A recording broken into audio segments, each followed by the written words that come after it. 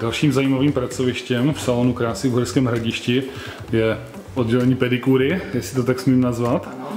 Tak zkuste se představit a něco malinko povykládat o tom, co se tu děje u vás. Takže dobrý den, mé jméno je Gizla Rasulková, pracuji jako pedikérka v Centru krásy.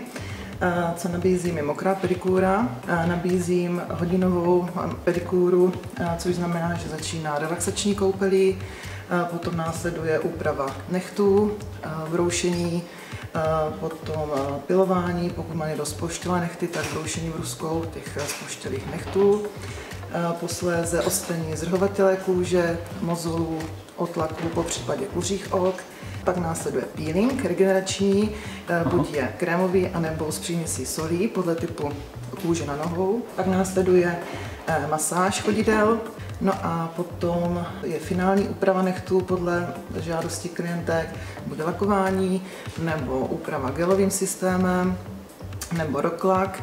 Potom dál nabízím zábaly parafinové anebo regenerační balker.